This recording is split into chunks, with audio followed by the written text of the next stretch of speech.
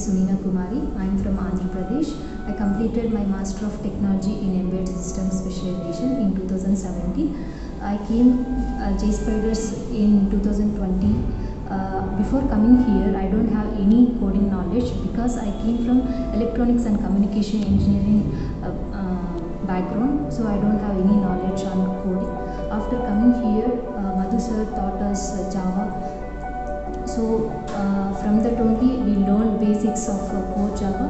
After that, uh, we practiced more uh, programs on CodingBat, HackerRank. So it helps us to improve our coding skills.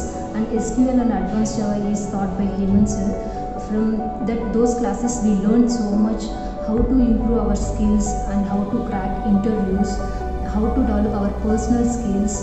So we learned so many things from SQL and Advanced Java classes. Hemant sir taught us very. Uh, he gave more knowledge on subjects. Every week, uh, in every week, uh, they are conducting mock interviews. It helps us to clear technical round in interviews. Uh, every day we are having presentation. It helps us uh, to uh, improve our communication skills in front of everyone. It avoids our fearness. Uh, so it helps a lot for me. So I got placed through JSpiders. Thank you so much.